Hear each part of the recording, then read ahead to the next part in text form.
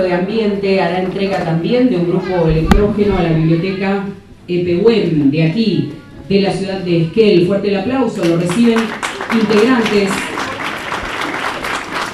de la biblioteca. Auguramos éxito en la gestión entonces del financiamiento de este ambicioso proyecto. Vamos con placas de accesibilidad. En los últimos años en La olla en línea con la política adaptada por el destino, se ha realizado una serie de herramientas que pretenden prestar eh, especial atención y brindar respuestas a un significativo segmento de la demanda turística, el de todas aquellas personas con comunicación y o movilidad reducida.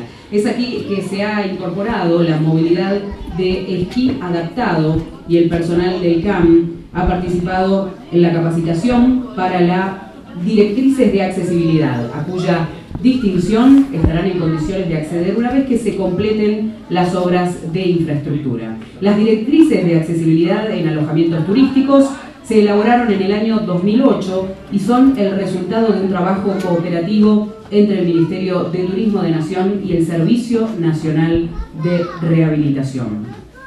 Vamos a proceder a entregar placas entonces que dan cuenta de esta distinción. Vamos a llamar desde la Oficina de Informes de la Municipalidad de Esquel al señor Diego Lapena, quien hará entrega de esta placa el vicegobernador de nuestra provincia, Mariano Arción.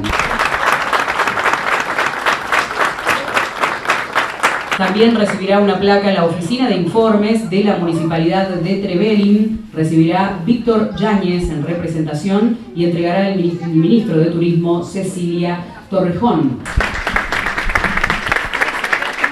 Por parte del Parque Nacional Los Alerces, la Oficina de Informes, los senderos de pintura rupestre, playa del sector de la Villa Futalaufken, va a recibir el señor Danilo Hernández, y entregará esta placa el presidente de Corfo, el señor Martín Portagaray.